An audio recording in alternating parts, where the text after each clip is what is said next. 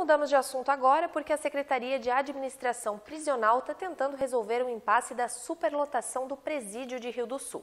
Local que tem capacidade para 225 detentos, atualmente abriga quase 360 internos.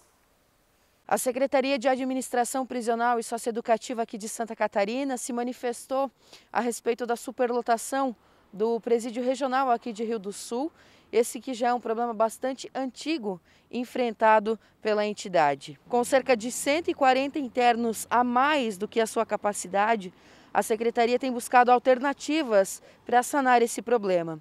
Em nota enviada pela assessoria de imprensa, a pasta informou que o presídio de Rio do Sul tem 225 vagas e 358 internos e que esse número varia porque todos os dias pode entrar e sair presos.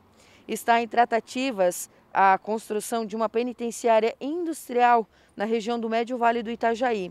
Além disso, a Secretaria também tem uma série de ações em andamento em todo o estado para reduzir esse déficit de vagas para presos.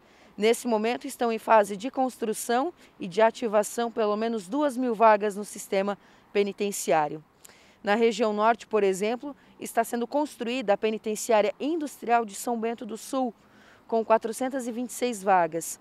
O presídio feminino de Joinville com 286 vagas e também ampliando e reformando o presídio regional de Joinville com mais 147 vagas.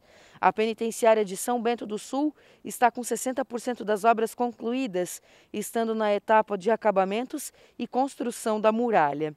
Na região sul do estado, em Tubarão, será ativada a penitenciária masculina de Tubarão com 224 vagas.